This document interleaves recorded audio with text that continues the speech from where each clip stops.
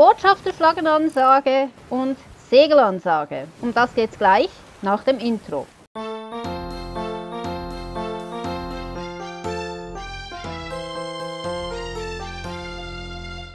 Moin, ich bin Kexos und dieses Video heute passt ganz gut zu der Segelreihe. Ich habe euch in der vergangenen Zeit so gut 60 Segel vorgestellt. Es kommt noch mehr. Irgendwann im letzten Jahr, noch vor der Segelreihe, habe ich euch erklärt, dass man anhand von Segeln manchmal erkennen kann, wie stark der Gegner ist. Das muss nicht immer stimmen. Aber ich mache mal ein paar Beispiele. Nehmen wir mal das Creator Crew Segel, das hier. Wenn wir dieses Segel auf See sehen, können wir davon ausgehen, dass höchstwahrscheinlich ein Streamer oder ein Creator an Bord ist. Oder nehmen wir dieses Segel hier. Bei dem Segel können wir davon ausgehen, dass höchstwahrscheinlich ein NAL-Gewinner an Bord des gegnerischen Schiffes ist. Über dieses Segel hier lässt sich sagen, dass es sich um das häufigste Segel der Sea of Thieves handelt und dass der Spieler, der das Segel drauf gemacht hat, schon einige Spielstunden hat.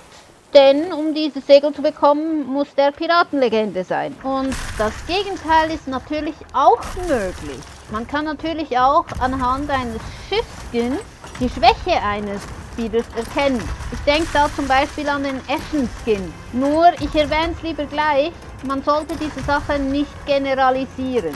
Es gibt Spieler, die absichtlich Ashen Skin fahren, damit sie unterschätzt werden. Um Segel ansagen zu können, muss man also eine ganze Menge wissen über Segel und ihre Herkunft. Wenn ihr jetzt in einen Kampf kommt, dann teilt eure Crew mit, wie das Segel heißt, das der Gegner drauf hat. Und wenn ihr Segel ansagt und dann Fragen aufkommen zum Thema, wo kommt das Segel her, muss man das natürlich auch nennen. Vorausgesetzt, ihr kennt den Namen des Segels. In dem Fall hier, bei dieser Brick am Plunder Valley, ist es das Segel der blauen Horizonte. Über diese Spieler lässt sich sagen, dass die schon ein bisschen länger spielen. Das war in einem Season Pass drin, ungefähr im Jahr 2021. Ob ihr die Segelnamen auf Deutsch oder auf Englisch sagt, hängt von der Crew ab. Ist die Crew rein deutsch, empfehle ich euch, die deutschen Namen zu verwenden. Bei eingespielten Crews, die sehr vertraut miteinander sind und auch vertraut mit Segeln, fällt die Segelansage für gewöhnliche Segel weg.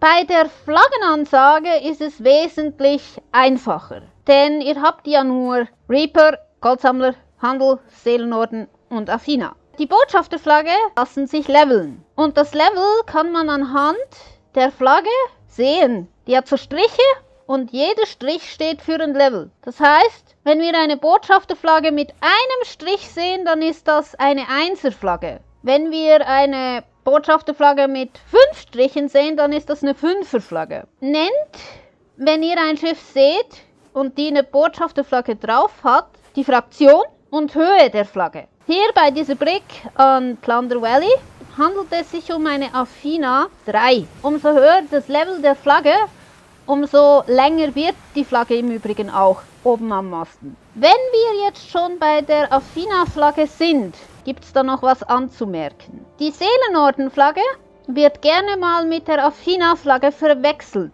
Hauptsächlich liegt das aber an der Flagge oben am Mast und nicht hinten. Denn hinten ist es eindeutig, die Seelenorden-Flagge ist rot und die Affina-Flagge ist grün. Damit sind wir aber am Ende des Videos. Ich hoffe, ihr konntet was lernen, was mitnehmen. Wenn ihr Fragen habt, stellt die unten in die Kommentare. Im Abspann habe ich euch noch den Twitch-Streamer-Tipp. Ich verabschiede mich. Wir sehen uns auf See. Euer Kexos.